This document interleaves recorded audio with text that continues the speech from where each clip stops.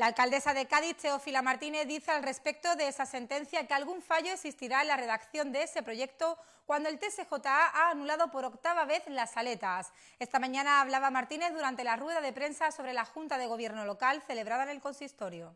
Un Tribunal Superior de Justicia de Andalucía no declara nulo o no declara inaceptable una declaración de, de una actuación de interés autonómico si no ve que no se ajusta al preceptivo o la propia norma de la comunidad para que sea declarado. Entonces, yo no, yo no digo que, yo no, digo que no está ajustado a la legalidad, porque si no le habrían dicho que sí. No sé si me explico.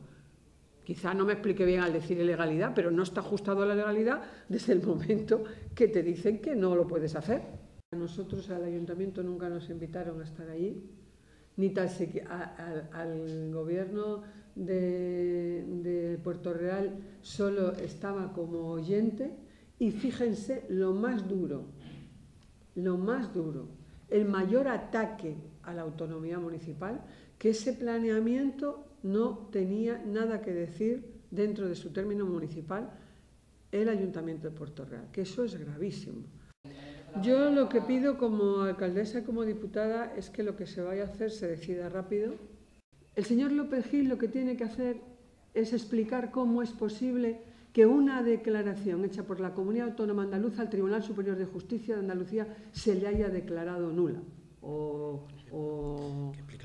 que, no, que, no, que no sirve, que no, que no se puede hacer.